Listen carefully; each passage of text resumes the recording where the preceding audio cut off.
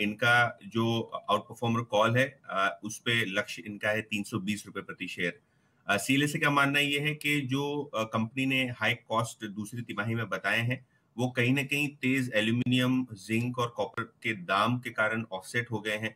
कहीं ना कहीं एल्यूमिनियम और ऑयल एंड गैस सेगमेंट क्योंकि केन वेदांता का हिस्सा है वहाँ उनको लगता है कि मुनाफे में वृद्धि काफ़ी अच्छी हो सकती है सेकेंड हाफ़ में।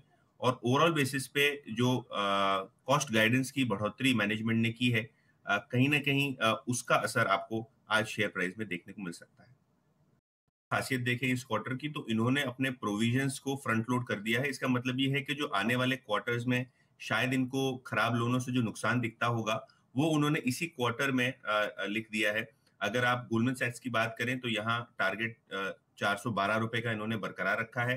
इनका कहना यह है कि ऑपरेशनली नतीजे खराब हैं लगभग उनके अनुमान से सत्रह अठारह परसेंट नीचे। हालाँकि जो आपने प्री प्रोविजनिंग प्रॉफिट देखी है इन आ, इस पे असर हुआ है साढ़े पाँच हज़ार रुपए के आसपास की प्रोविजनिंग का।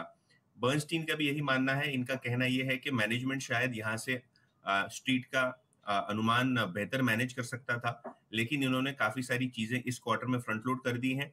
मैनेजमेंट का कहना यह है कि सेकेंड हाफ़ में आपको काफ़ी अच्छी रिकवरी और जो खराब लोन है, उनसे भी रिकवरी आती हुई आपको दिखेगी।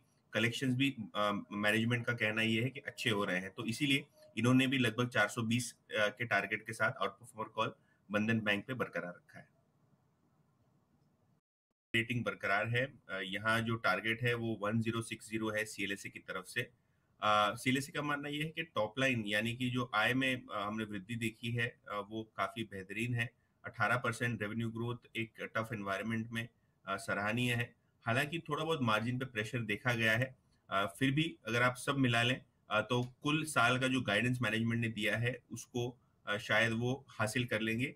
ओवरऑल बेसिस पे इन्होंने जो एफ़ आई ट्वेंटी थ्री यानी अगले वित्त वर्ष के लिए अपना जो मुनाफे का अनुमान है, वो लगभग तीन परसेंट से बढ़ा दिया है। नेट नेट ब्रोकरेजेस यूपीएल पे बुलिश टोन ही रखे हुए हैं।